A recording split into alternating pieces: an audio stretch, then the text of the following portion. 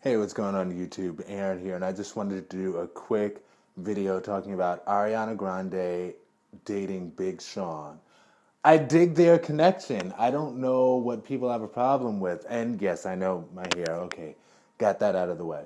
But I dig their connection. I, I don't know why people have a big issue with them. I whenever I see Big Sean in an interview, he seems very sincerely into Ariana Grande. And people's biggest problem with Big Sean dating Ariana Grande, they often say that it's like, well, if Big Sean dates somebody who looks as young as Ariana Grande, how is he going to find somebody after her who looks as young as Ariana Grande without dating a five year old?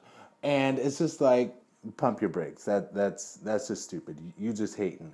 And as much as I did want Big Sean to play for my team, and y'all know what I mean.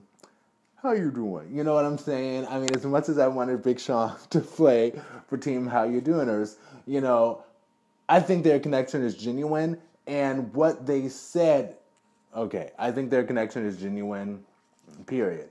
And what Big Sean was saying was that they were like friends before they started dating. And that's what people need to realize. When it comes to dating, unless it's like a Hollywood setup dating thing, and that might be what it is, I don't know. I'm not there with them.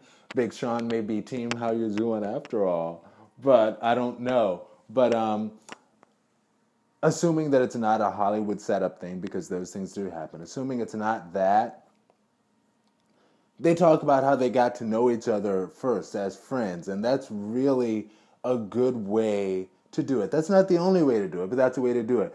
And I say that because that means that they have something in terms of connection that's deeper than looks, looks alone. Like that's that's a part of it, I'm sure, but it's deeper than looks. And when you have that kind of connection with somebody, that's a good thing you know? So for people to be like how is he to find somebody who looks as young as ariana grande without dating a kindergartner? It's like their connection is deeper than looks at least so it seems you know?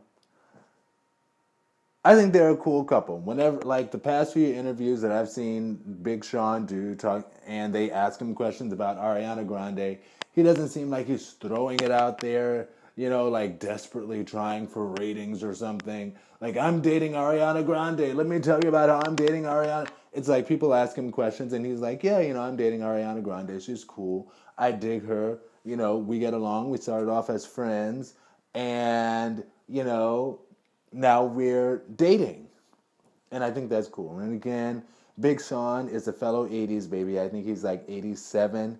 And Ariana Grande is like 90 92, 93. So they're definitely in each other's age range. So, whatever. What do y'all think? I think it's just kind of silly to be like, how is he going to find somebody who looks as young as her? That's that's stupid. That's just real stupid. You know what I'm saying? Like that's just real stupid. I mean, I know I would want Big Sean to play for my team, but I'm not just gonna hate on them arbitrarily. Gosh, goodness, you guys. Talk to y'all later, YouTube. Peace. Be blessed.